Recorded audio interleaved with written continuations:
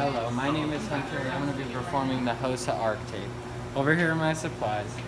First I'm going to spray some adhesive on it and then lay down one anchor strip across the fat pad. No, it's not the fat pad, whatever that is.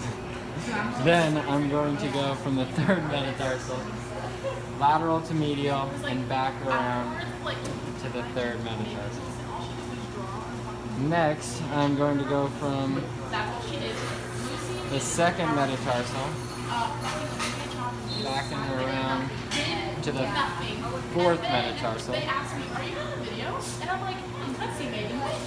Then I'm going to go from the fourth metatarsal all the way over to the fifth metatarsal.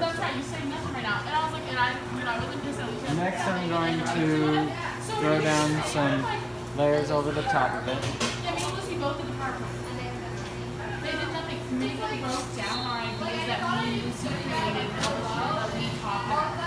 I was pissed. I was, I don't listen to whatever you understand. Like, it's really mean with, like, someone else. I was like, I was, because, I don't know if I did nothing. Maybe it's a I took a picture and I'm like, what you going to do for me? I have a video I have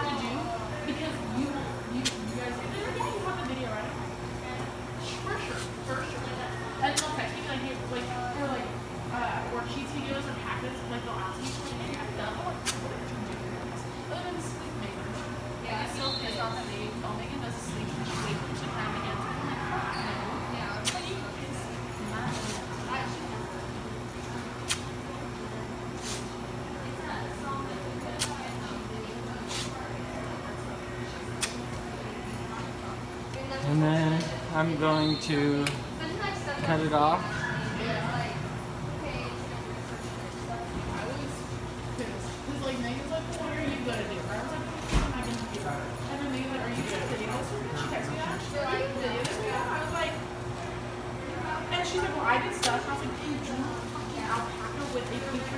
And that is how you perform the tape.